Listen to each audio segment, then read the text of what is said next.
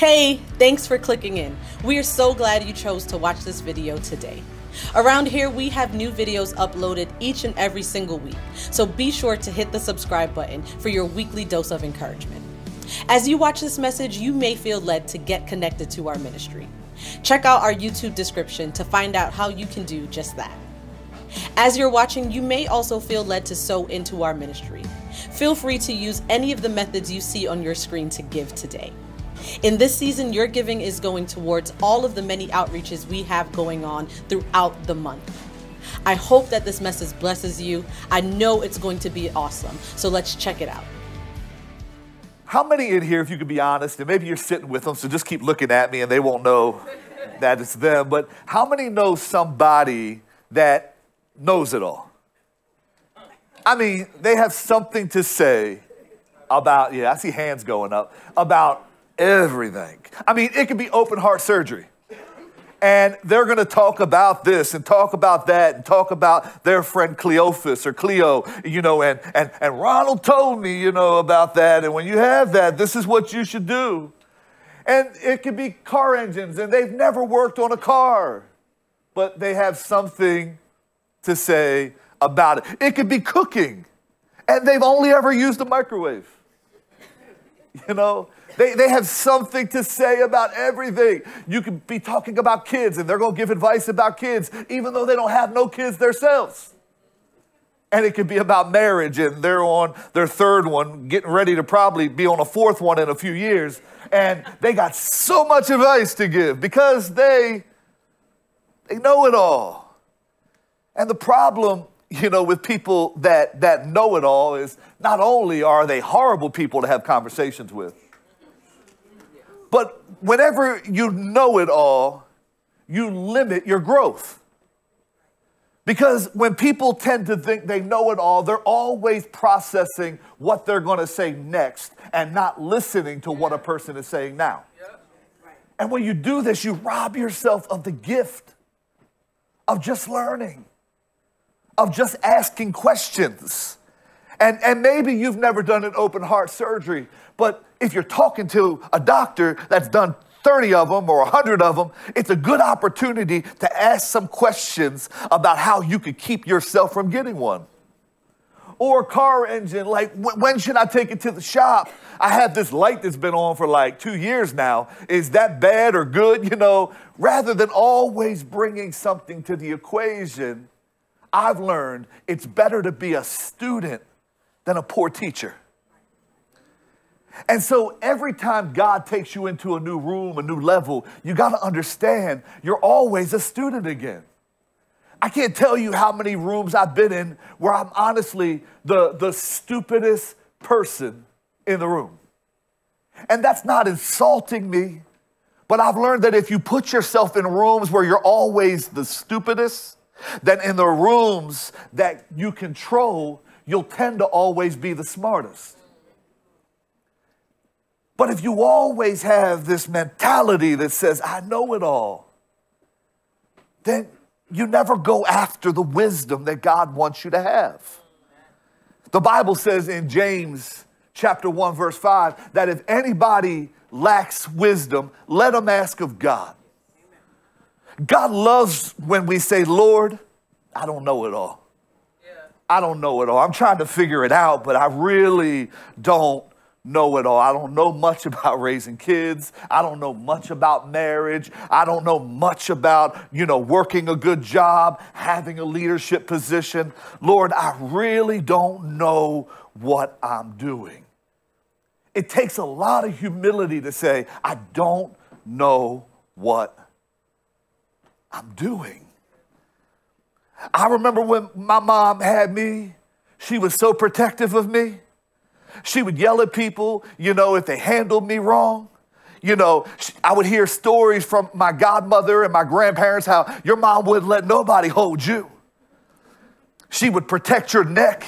She didn't want anybody holding you a certain way. If they touched your head too long, she'd yell at them because she didn't want it to get deformed or something because it was, you know, sensitive. And my mom was so, by the time she had her fourth child, my sister Bethany, she was throwing Bethany across the room to people.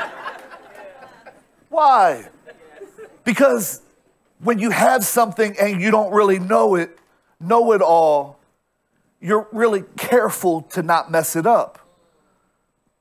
But the longer you have it, the more wise you get. And you realize what I worried about there really wasn't worth my time. It really wasn't that big of a deal. You've gained wisdom through the years. And you realize everything's going to be okay. But you didn't have that in the beginning. And truthfully, if you had that in the beginning, you probably would have been too reckless in the beginning. Wisdom is given in the journey. With life, and when it comes to the things of God, wisdom with God is given through the journey. When I got ordained, I got saved at 19. I didn't have a church background. I, I was a middleweight boxer you know, I was a drug dealer in Brooklyn Homes. I mean, I, I did it all. I always tell the story, and most of my staff that's close to me has met him. But one of my father figures was little Melvin Williams. He, we would sit on his front porch, my team, and he would just tell them stories about me as a kid. His family's the one that gave me all my drugs when I started selling them. I was raised by my boxing trainer in, in Gilmor Homes. I, I, I, fought on Fulton Avenue at Umar Boxing most of my childhood from about 9 to 21 years old. And I didn't have this church background, but I was raised by brothers in the Nation of Islam. All my boxing trainers and my father figures were devout Muslims. So they taught me discipline. They taught me the Quran. Two times a year, we would go to the mosque on North Avenue and Hilton Avenue, and we would put on boxing shows at the national, you know, Muslim conventions or Islamic conventions. I had discipline. And I had a lot of ideas. But I'll never forget when I got saved, and I was saved at 19. I was an ordained minister by the age of 21. That's crazy. I didn't know what I was doing. And truthfully, if I could be honest, my pastor ordained me way too early. But they were desperate for a youth pastor. And, you know, I, I was youthful. And so they put me in this position, and I put myself through Bible college and got my bachelor's degree in theology while I was working my way through a five year union apprenticeship as an electrician, which I completed and then quit about six months after to be a full time pastor in the church I started. But I didn't know much when I got started.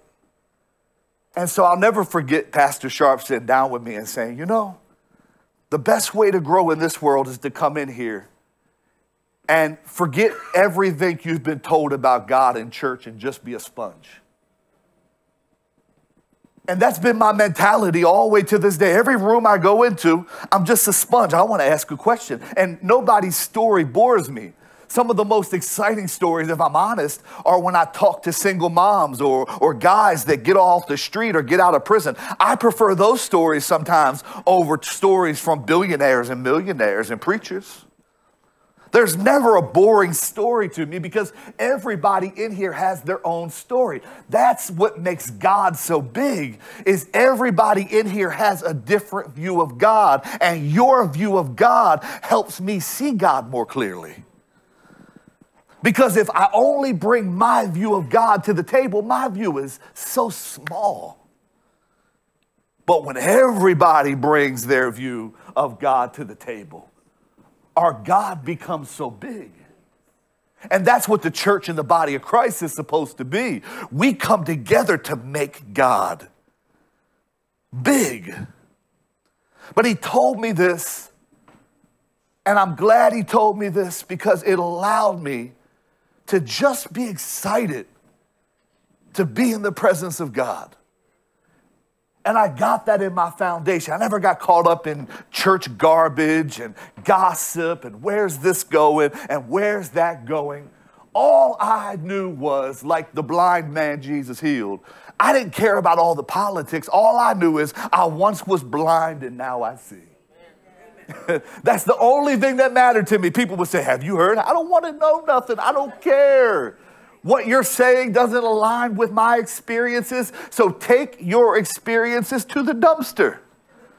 And don't try to pollute my innocence because you may not be happy, but I'm still excited and happy. And I've always had this mentality to just learn about God and not have to not have to know it all. Look at somebody and say, don't get it twisted. See, the problem is, is when you start knowing it all, people that tend to know it all want to be heard. And one of my favorite scriptures is found in Second Thessalonians. All this is going to make sense by the time we get to Luke 24. He says, For we hear that there are some which walk among you disorderly, working not at all, but are busybodies. They're not doing the work, but they got a lot to say. That's what he's saying.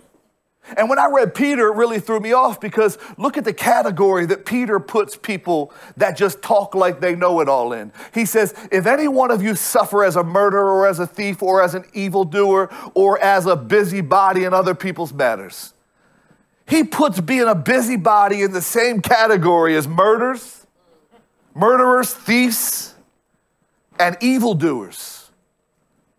Why? Because when you think you know it all, you tend to say things that you shouldn't say. And the reason God cares so much is because words have power. And when you speak, life and death is in the power of the tongue. When you speak, something has to come to life. Yeah. And when you let people speak to you, something has to manifest in your life because words have power. James said the tongue has deadly poison. He also says we put bits in the horse's mouth so that we can control them and take them in any direction we want. He says the, the, the, the, the tongue is like the rudder on the boat, it can take the boat deeper into the waters or get the boat out of the waters. And he, he wants us to know that your tongue is so powerful that it controls your whole body. People that don't live right don't talk right. Because this controls the body. And he says this can take you deeper into a storm or get you out of the storm. Because it has power. And so, the reason that God cares so much about what comes out of our mouths is because our lives are a reflection of what we say. And if the average woman says 6,000 words a day, which is around accurate, and the average guy says around 2,500 a day, that's why, fellas, you will never beat a lady in an argument. How many of those words are changing our life? How many of those words are keeping us in our normal? How many of those words are getting us deeper yeah. into the storm compared to the amount of words that come out of our mouths that bring life and resurrection? Pastor Sharps taught this message years ago. It, it was in Ezekiel chapter 30, and the message was called If the Walls Could Talk. I remember it like it was yesterday. And Ezekiel is having a conversation with God, and this is what he says Son of man, the children of thy people are still talking against you by the walls and in the doors of the houses. Speak one to another, everyone to his brother, saying, Come, I pray, let's hear what the word that comes from the Lord is.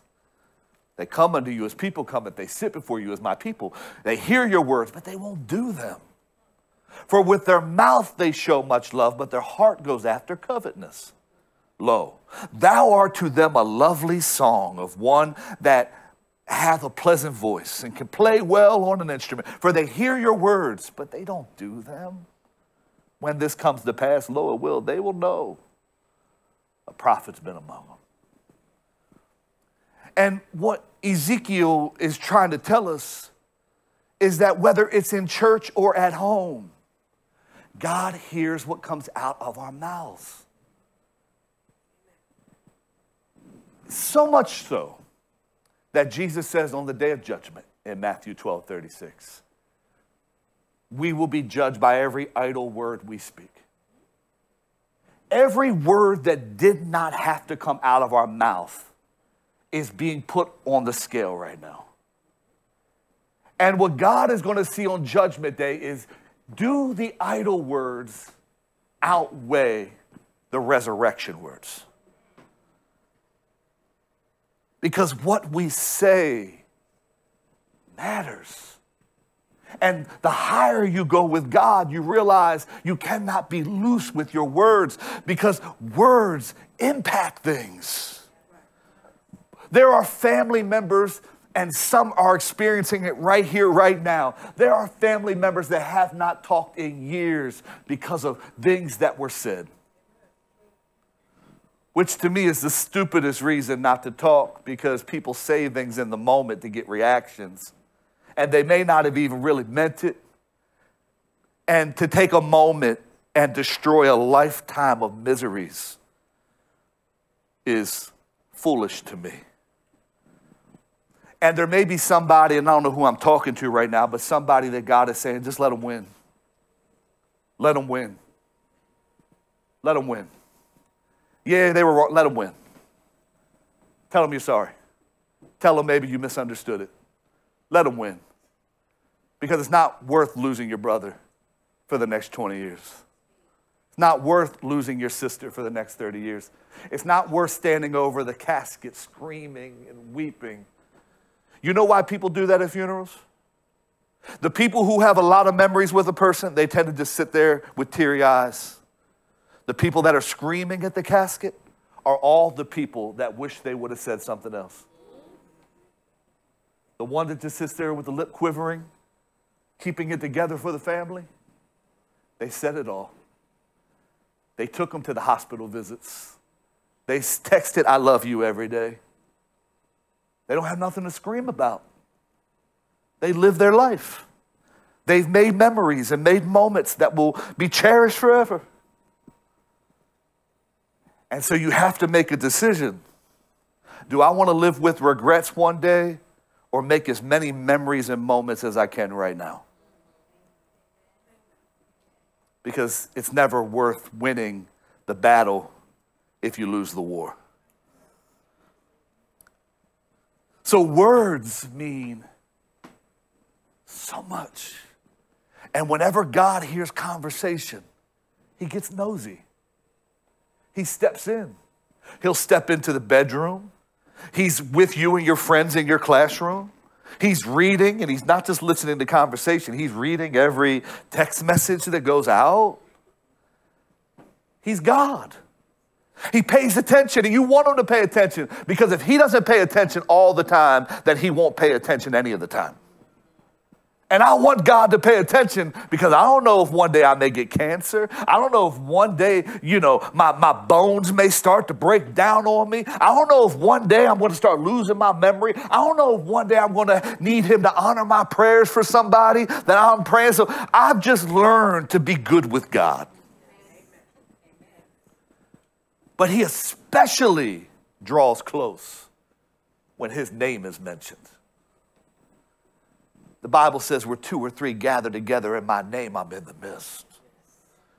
Whenever he hears Jesus, he shows up. That's why the devil gets so uncomfortable when somebody steps back from a problem and just says, Jesus. You don't even need to know what to say. You don't need to know how to pray because God knows what you need before you even ask.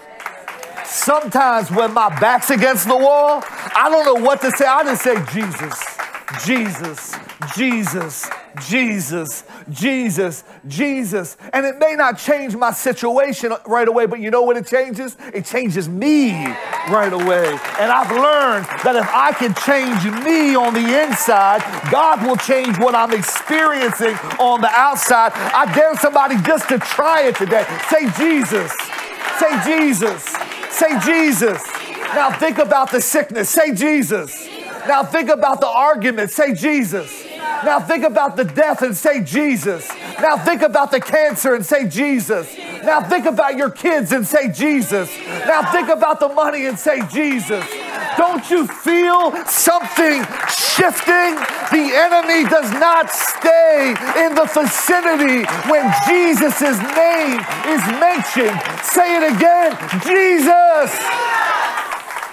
Whenever he hears his name, he shows up.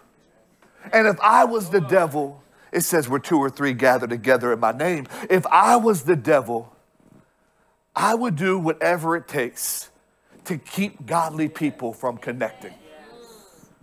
Because if he gathers where two or three are gathered together in his name, I can win the battle if I just bring division. And this is what happened when Jesus was crucified. It, it, it brought division. Everybody was panicking. Everybody was scared. And I understand to some extent. It's hard to follow somebody whose name is seen in a negative light. To follow Jesus means you could be killed. To follow Jesus means your business could be shut down. To follow Jesus means you could lose your livelihood. To follow Jesus it's not looking too good. And ultimately, there's a lot of people that are just sad and discouraged because they gave three and a half years to following this guy, listening to him preach, watching the healing crusades watching the deliverances take place and watching the demons cast out and watching the storms stand still. They watched him. They looked up to him. He was their hero. It was Jesus. To walk with Jesus, it was something. Because immediately when Jesus came into a city, the whole city turned. Everybody started following and showing up at seashores just to see this, this Nazarene man get off a boat. They would follow just to hear him talk from a distance on the boat.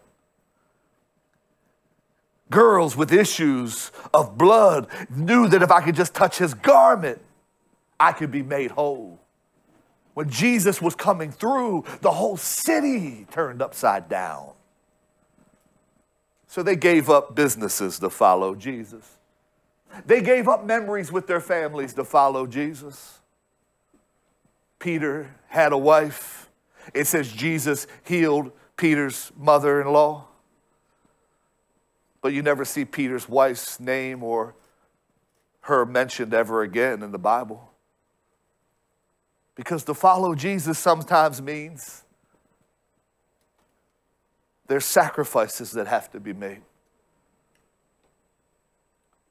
James and John gave up following and taking over their father's fishing company. I mean, they were all giving up. Matthew gave up his accounting firm. They all just wanted to be a part of what Jesus was building. And so when he was snatched and when he was crucified and when he was hung up high and stretched out wide, their whole future shattered. Have you ever had a moment where your whole future shattered? Maybe it was through the loss of somebody. Maybe it was through the breakup with somebody, the job that went wrong. But to have your whole future shattered traumatizing. And so the disciples, the core group, 11 minus Judas, who has hung himself. They are hiding in a room. The women had the courage to go to the tomb in the morning. They didn't care what nobody thought. They were going to take care of Jesus, even if he was dead. And I expect for Jesus, when he resurrects, to go to Jerusalem. I expect for him to go into the upper room and meet his boys, the church leaders.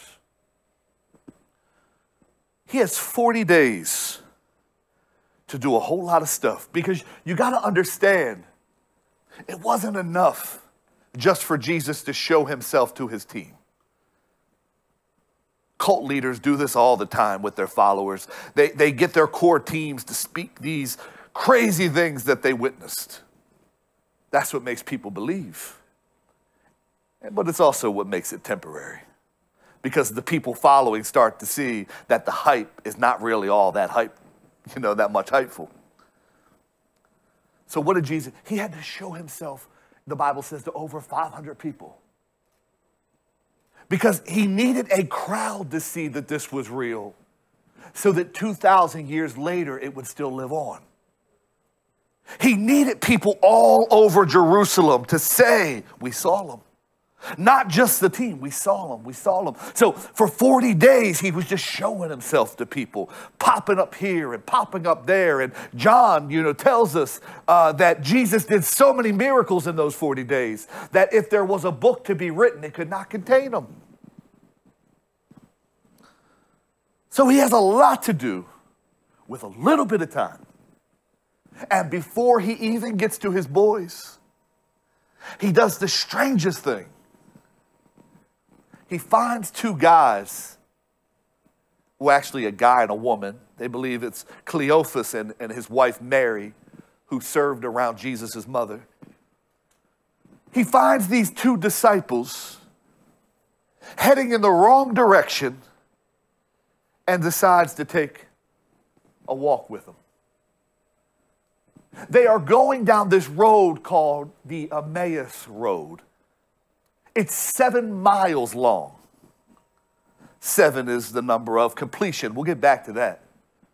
But he's, he's just following them down the Emmaus Road because his name was mentioned.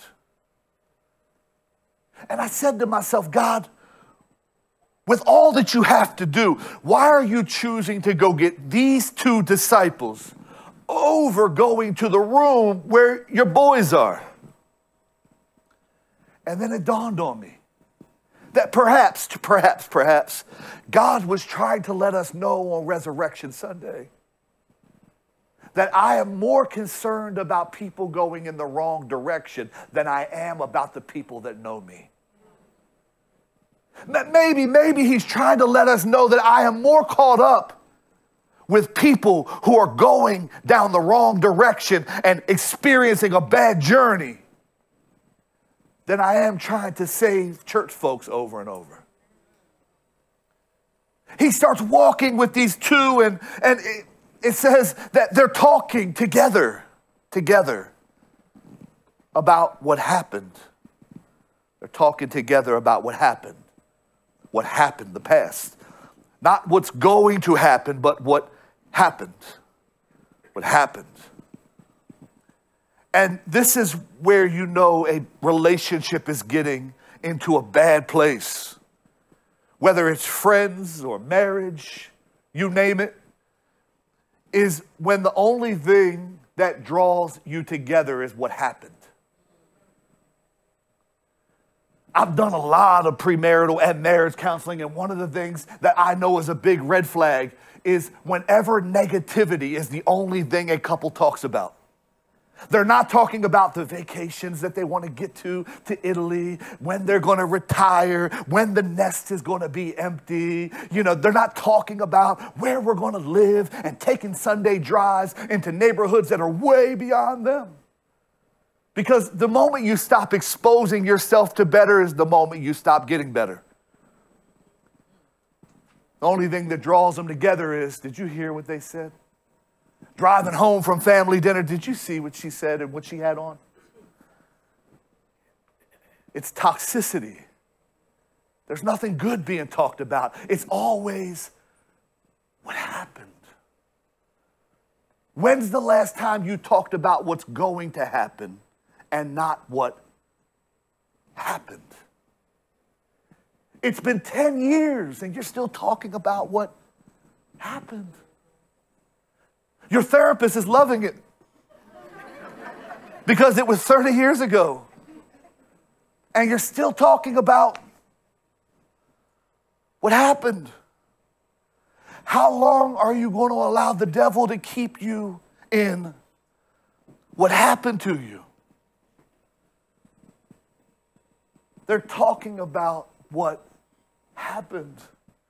They're talking about the Garden of Gethsemane. They're, they're, talking about Jesus being snatched. They're talking about Judas's kiss. They're talking about the Last Supper. They're, they're talking about fond memories and sad memories. And they're, they're talking about all they gave up to follow Jesus. They're, they're talking about what happened. And it says that as they're talking about what happened, something happens. It says in verse 17 or verse 15, I apologize, and it came to pass. It came to pass. See, anytime you talk about Jesus, something has to happen. Whether positive or negative, something has to happen. It came to pass that while they're talking about Jesus, Jesus drew near and went with them. They're supposed to be in Jerusalem with the boys. They're not in Jerusalem. They're going in the wrong direction. These are the, how I, this is how I love how the Bible parallels itself. Because there's an Old Testament story about a guy who went in the wrong direction too. His name is Jonah. And God told him to go to, to Nineveh which was 500 miles from Jaffa, where he was talking to God. And he decides to go to Tarshish, which is 2,500 miles away from where God talked to him. And he got on a boat and he paid the fare because anytime you go in the opposite direction of God, it's going to be expensive. Yeah, it's going to be expensive. Because whatever God is in, he picks up the tab for. Whatever God's not in, you got to take care of. That's why I serve. That's why I tithe. I make it clear to God, I want you in everything. I don't want responsibility for these bills. I don't want responsibility for my health care. I don't want responsibility for my retirement. I'm going to be a steward over what you gave me, but I want you included in everything that I, I have because I realize that when God's in it, something has to happen. Jesus, like the whale that came to swallow up Jonah is that whale tracking them down, trying to keep them from destroying the rest of their lives.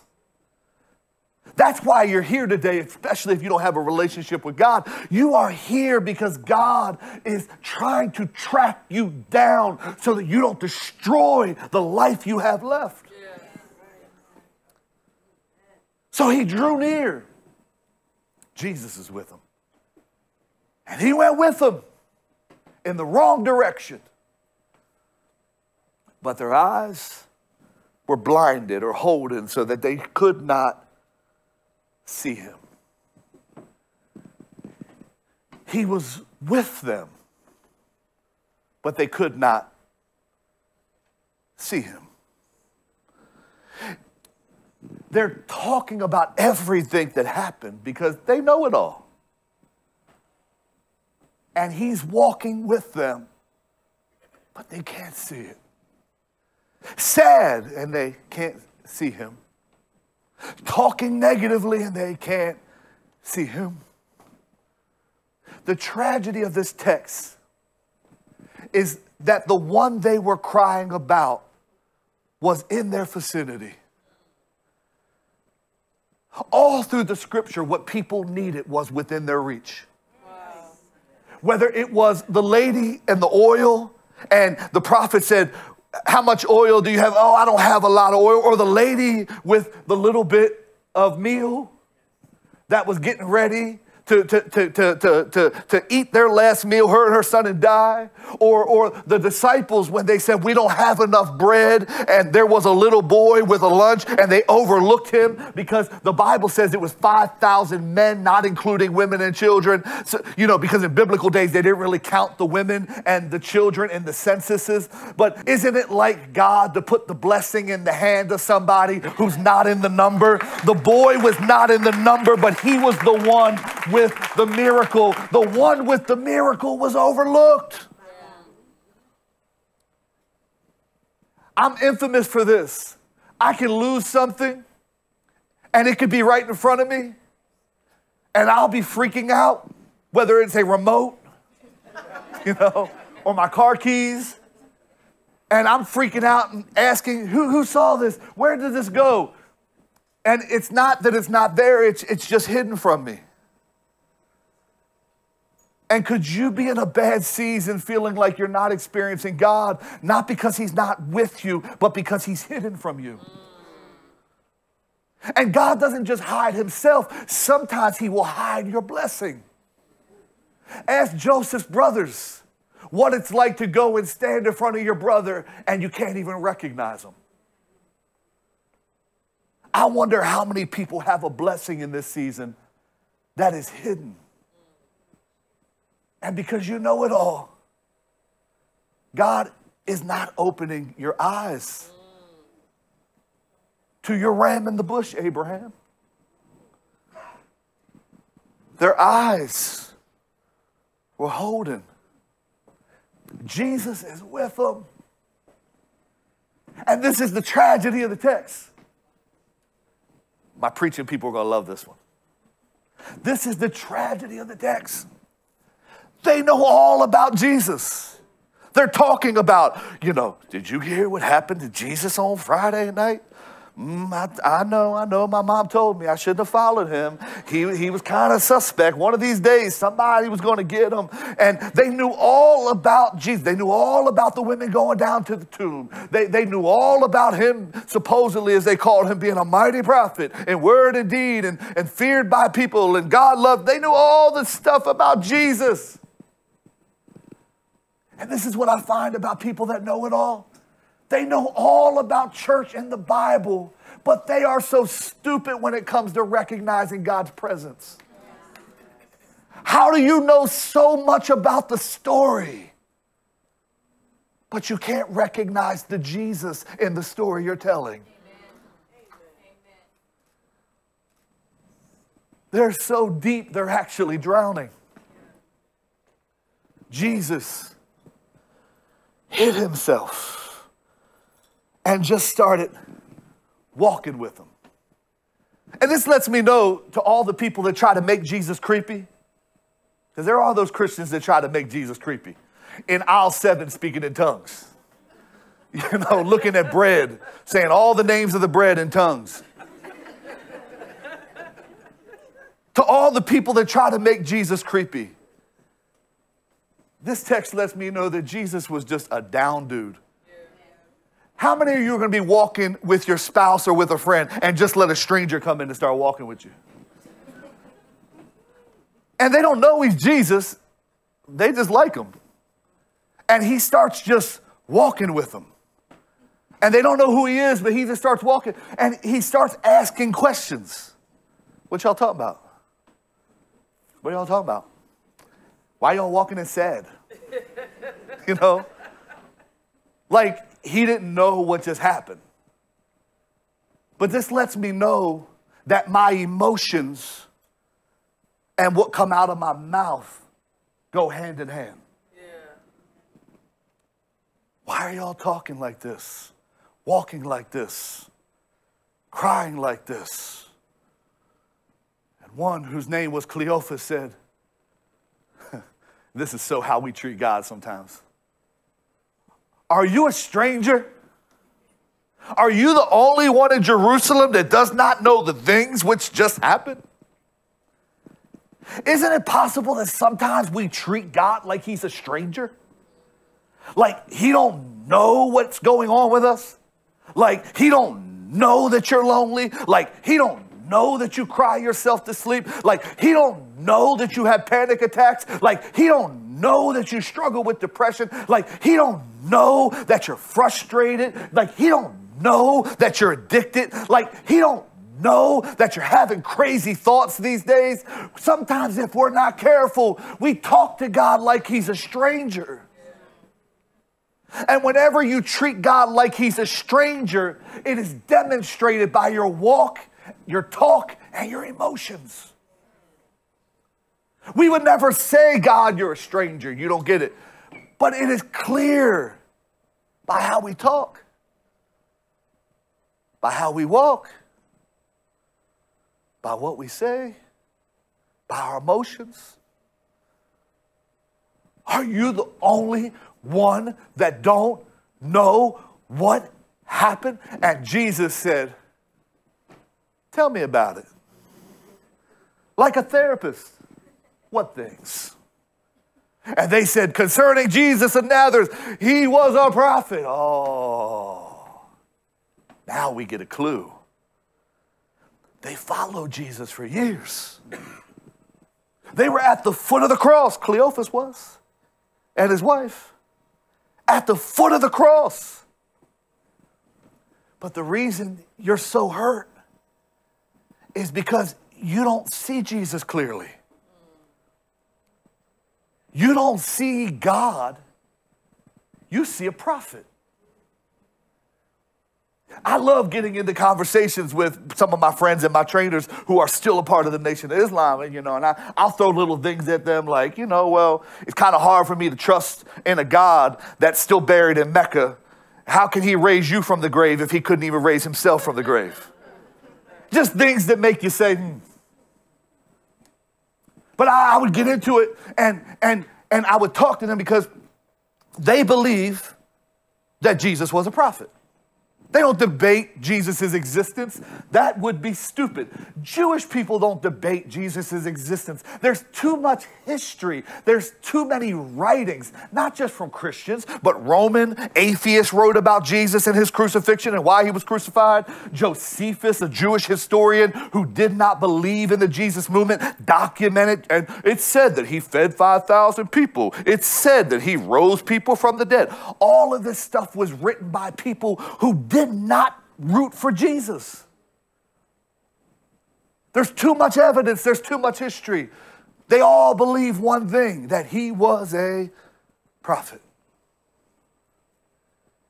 And if you don't see God clearly for who he is, you're not going to see God clearly in your life. He's not going to let you see him in an intimate way if you can't even see him in the way the Bible is trying to tell you to see him. Amen. They see him as a prophet. And we all say, I, I believe he's the Son of God. But do our actions say that we really believe he's the Son of God? He was a mighty prophet indeed. He did good things. And he was a good preacher. That boy could preach before all the people and how the chief priests and our rulers delivered him to be condemned to death, and they have crucified him, and here goes, but we trusted. Oh, now the heart's leaking. We trust it. That's what it comes down to. We trust it. We trust it. This is what makes a brand have power. All a brand that has power is, is something that you can trust in. They have shown consistency. That's why the worst thing a person can do is do something off brand. Because every day you get out of bed, you're being interviewed. Fair or not, you are. You go to a job, you're getting interviewed, your kids are interviewing you, your spouse is interviewing you, family events, you've been going to church lately, they're interviewing you. Everybody is watching you to see do you have a new brand? Are you brand new? Or are you just the same you? A brand is something you can trust in. And so, whenever somebody sends a mixed signal out, it weakens their brand instantly. And they're saying, We trust it. We no longer trust Jesus. We no longer trust church. And when trust is gone, whatever you're still hanging on to is only on life support. Henry Cloud, a person I deeply respect, and I got, I got to have a cool dinner with him a few months ago, and we talked about his book that's been speaking to me a lot over the last year called Trust. He wrote a whole book on trust. And the danger with losing trust is whenever there's no trust, everything gets harder. Because trust is what makes everything move forward. Trust is what brings momentum. And they're saying, We trusted in him. We trusted in what he sold us. And they're heartbroken. They have gone on this seven mile journey because they were heartbroken. This seven mile journey in the wrong direction, away from God, not because they're bad people, but because they trusted. Every person in here that has ever had your trust violated can understand how one moment of broken trust can send you on a bad journey. Whether it was as a child, somebody you trusted, or whether it was your marriage, somebody you trusted, a parent figure, somebody you trusted. Most people end up on a bad journey because of trust gone wrong.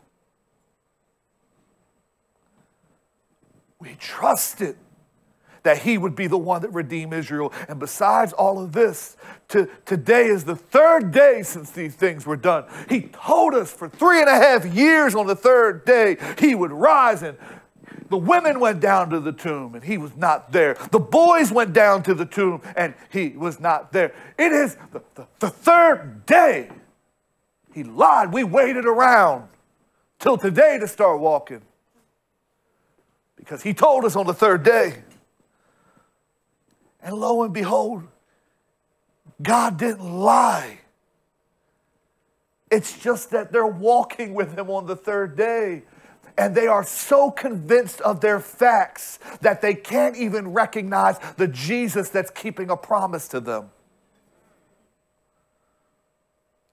And right when they get done telling him about the women going down to the tomb, Jesus just freaks out and says basically, okay, don't get it twisted. Oh fools. He, he's talking to Cleophas or Cleo, and he's saying, dude, how foolish do you gotta be? And the reason you're looking and talking like a fool right now is because your heart is not slow to quit. You're showing me that by walking down this road. You're quick to quit. You're, you're quick to throw in the towel but you're not quick when it comes to your belief system. It is possible for us to be quick in all the negative things, but slow when it comes to trusting and believing in God. I love the story they were sharing the offering because I, I know the young boy and the, I heard the story too that he was so excited to give his offering. And the reason that's so big to me and the reason that's so important is because it shows me a mother and a father that are teaching their children legacy. Abraham and Isaac were walking up the mountain. Isaac looks at his father and says, I see the wood, I see the knife, but where's the sacrifice? He wasn't questioning his father because he, he thought he was going to be the one. I've heard it preached like that. He was questioning his father because his father trained him that you never go in the presence of God without a sacrifice. Are our children trained so well that if they didn't see you pick up an envelope, they would challenge you on the way home? That's legacy. Because if it's not passed down, they're going to have to experience all the stuff you experienced until you learned how to be grateful for God. You're so slow to believe. To believe.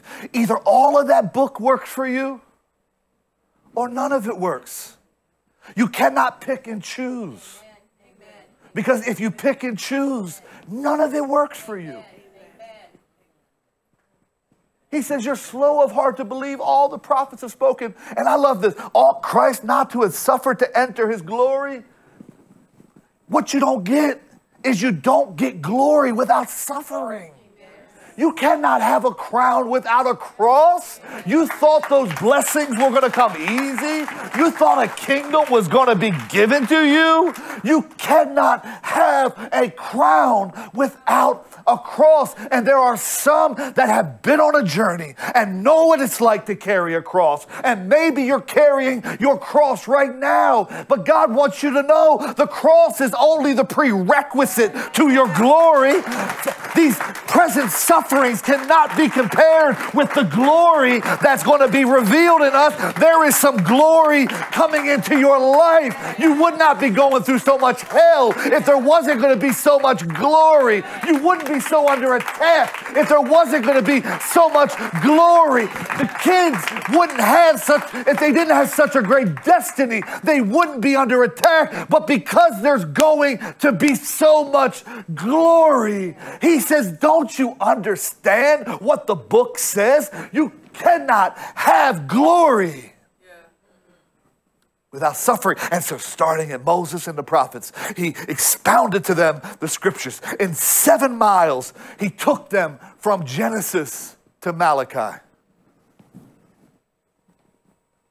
Seven miles, about two hours maybe, two and a half hours, just walking down the dusty road towards Emmaus with the wind blowing and the dust in the air he gives them a tabernacle teaching. He gives them an Exodus teaching. He gives them an Isaiah teaching. He's taking them all through the book. And this is amazing to me. Because you can go to school like I did for four years and get a bachelor's and still not learn the whole Bible. And God is giving them an advanced education in two and a half hours.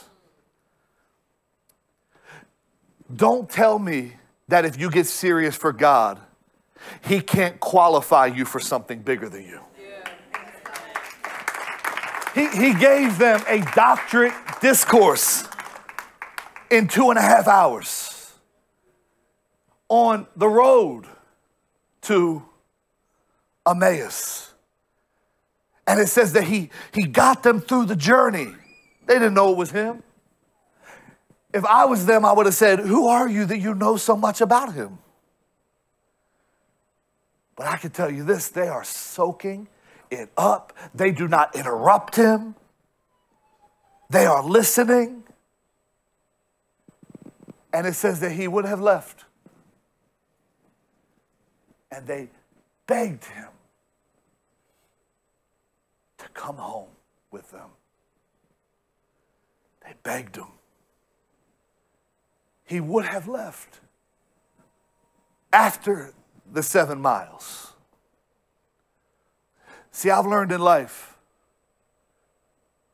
God will get you to the end of the journey, but what happens next is up to you.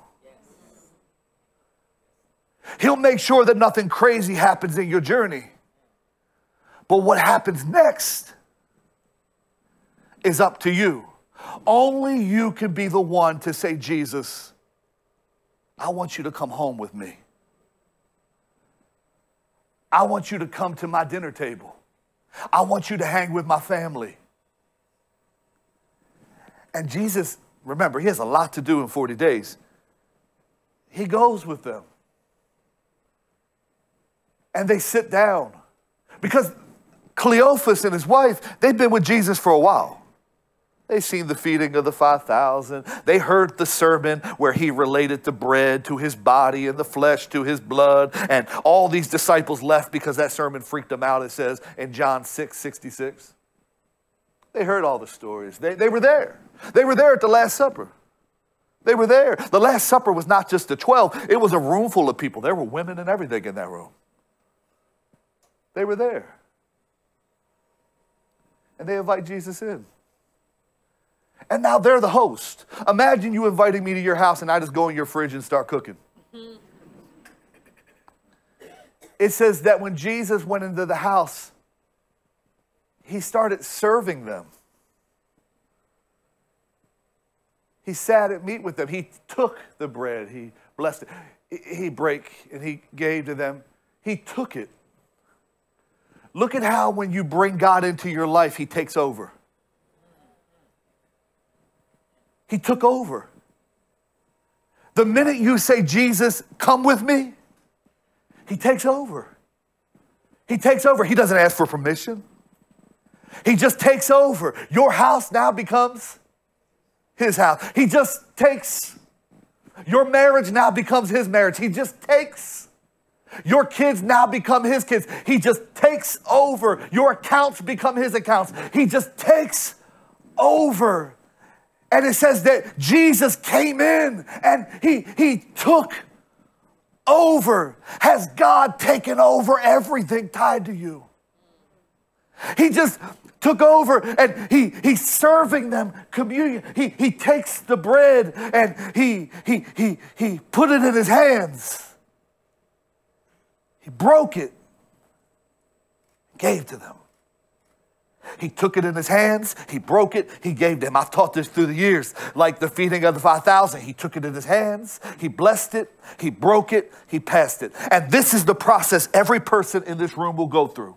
Number one, you have to be grateful for the fact that you're in God's hands.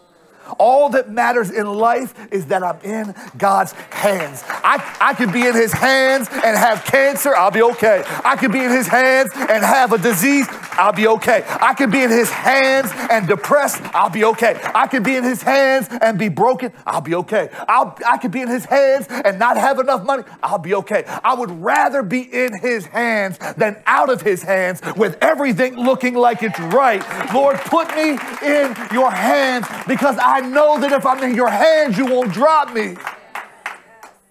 He put it in his hands. He, he, he, he blessed it. He broke it. Why does he bless before the breaking? Well, he wants us to know that when the breaking seasons of life come, understand this. You were blessed before they happened. So you will be blessed when you come out of it. Say, I'm blessed. You are not going through the brokenness to be blessed. You were blessed before it ever started. And if I was blessed going in, I got to be blessed coming out. But why does he break me after he blesses me? Well, it's because he's breaking you and he doesn't break multiple pieces of bread. He just takes one loaf and he breaks it. He breaks it. One piece of bread. He breaks once. And now it's two halves, but together it's one whole. Two pieces of bread that he's trying to distribute. Could Cleophas and his wife be two pieces of bread that God wants to distribute? He only breaks you because he wants to pass you. And the more he breaks you, the more qualified you are to reach greater amounts of people.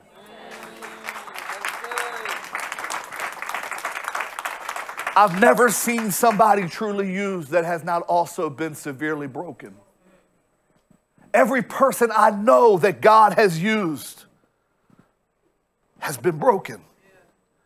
Broken in ways that they cannot truly ever be put back together thorns that they will carry to the grave one day. But that's the price tag of greatness. Because what good is it to be a doctor that doesn't even know what medicine feels or tastes like? Mm, that's good. Yeah. So he breaks you to pass you. And it says that when he did this, their eyes were opened he was out.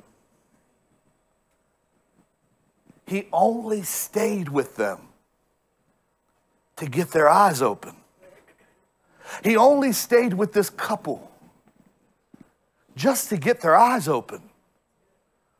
What was it about the breaking of the bread and the distribution that made him, them say, It's Jesus? They couldn't recognize him on the journey. What was it about this that made them say, It's Jesus? He broke it, which was what he went through. He was broken by his father. He was blessed, passed to the world 2,000 years later. We're here because Jesus was passed. But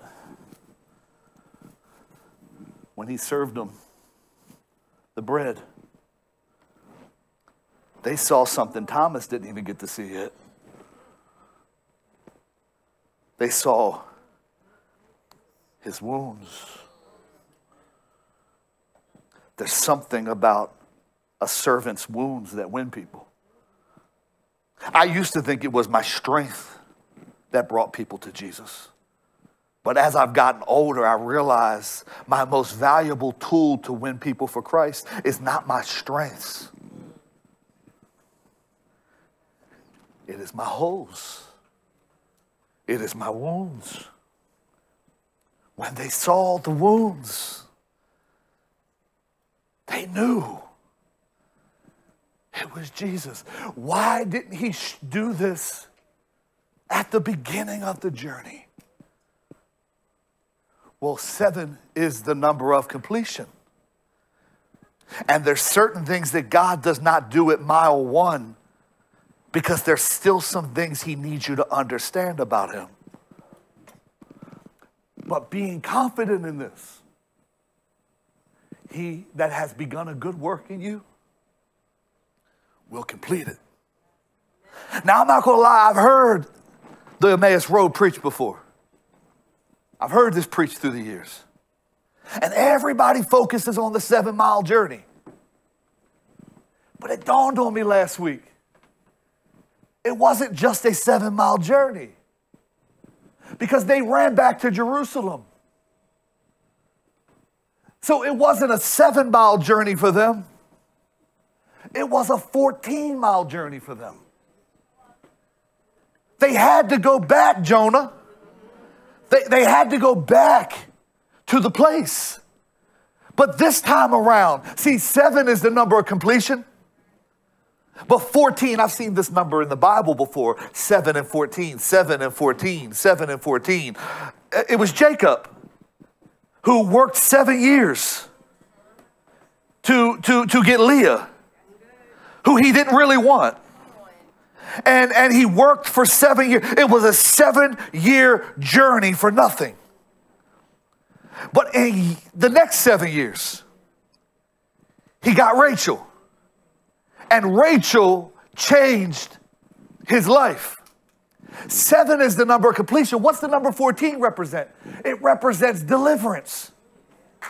Yeah, and, and, God doesn't just want to complete something in your life, He wants to pull you out of something in this season. He wants to pull you out of what you've been experiencing, what you've been going through. He wants to pull you out of all the pain and the anxiety. He wants to pull you out of the depression. He wants to pull you out of the turmoil. God is saying in this season, don't get it twisted. He did not walk with you on this journey for nothing. He walked with you on this journey because he knew that if he got somebody like you, the next seven years you would be running. Let me make it plain. The first half of your life, that journey may have been hard, but the second half of your life, God says this is going to be the season where you run. You're going to run like you're a teenager. You're going to run like you're in your 20s. You're going to run like you're in your 30s. God is saying, I'm going to renew your strength. I'm going to give back the years that the cankerworm and the locust have eaten because this is going to be your finest season of your journey. It says that they ran back to Jerusalem. Where did they get the energy to run? Well, it says when he vanished. They said to him, themselves, Did not our heart burn within us while he expounded on the scriptures. I don't know what it is about me, but I'm still like the nerdy preacher that loves to dig and dig and dig until I see something fresh about God. I can't preach something that I'm not passionate about. I don't use notes because I am my notes. I don't need my notes, my notes need me. If I was going to preach off a piece of paper and stand behind my podium the whole time, I might as well just after worship give you an outline and send you home. But I believe that if you're going to preach it, it has to be out of something that burns in you. And when it burns in you, you could talk about it for hours. I get long winded. It's almost noon and I can keep going.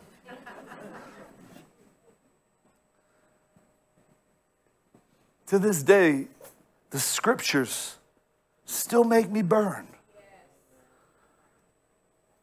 And when the scriptures are no longer good enough to make you burn, anything else that does is only temporary. They burned so much that they ran back to Jerusalem and they busted into the room where the disciples were. And they said, Man, y'all better believe he is risen. The women weren't lying. And right as they were talking, because two or three where they gather together in his name is in the midst, the disciples weren't on one accord. He could not show up until there was one accord in the room. Oh, how blessed it is when the brethren dwell together. On the day of, the day of Pentecost, it says they were gathered together on one. God cannot show up in a place that is full of discord. So, because he couldn't get his church boys in order, he went to the streets. He went to the dusty roads because he needed two people fired up. Where two or three gathered together in my name, I'm in the midst. I don't got 11 that are together. But if I go to the streets and walk along the journey with, with these two disciples, I know it won't be a wasted journey. They may miss out on a little bit over these seven miles, but when I finally get them, they're going to be so loud as a married couple that any room I'm not in, I will be in because they're there. And now I understand why Jesus walked the journey with them with so much to do. It was an investment. You always know when somebody's investing in you when they barely have enough time to do anything for themselves, but they're making time for you. It is an investment. But I just ask you to do one thing with your life never waste my time because I don't have a lot to give. Make it pay off. I understand how powerful an investment is. And God is saying, the reason I've been with you so long on your journey is because you are an investment. I bought you not with money. You could buy cheap stuff with money. Anything you could buy with money is cheap. Even if it's a $10 million, it's cheap compared to the grand scheme. Jesus said, I have so much of an investment in you I gave my life. That's how much you're worth to God. He not only did the journey with you from the time you were born forward, He paid for you with His life.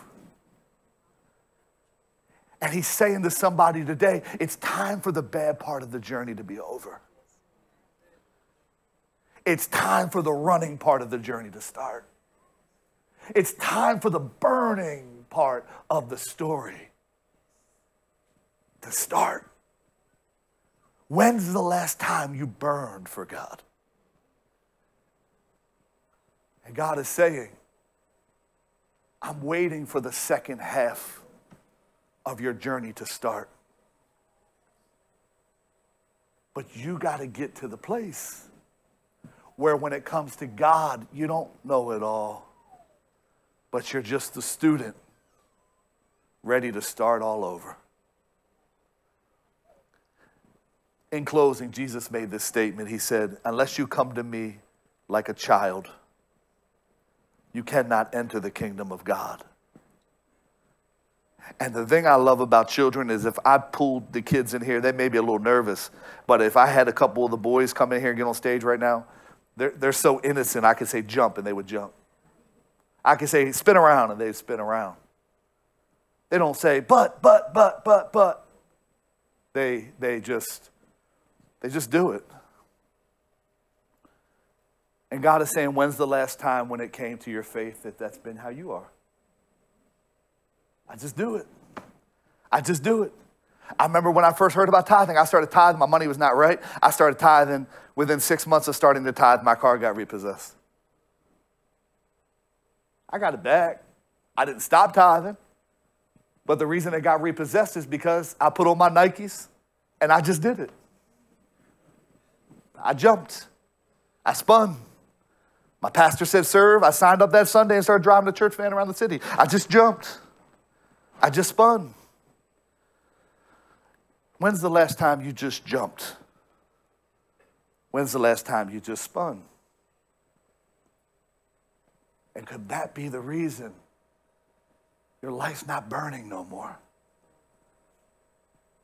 Or if it is burning, you're like the two that brought strange fire into the tabernacle.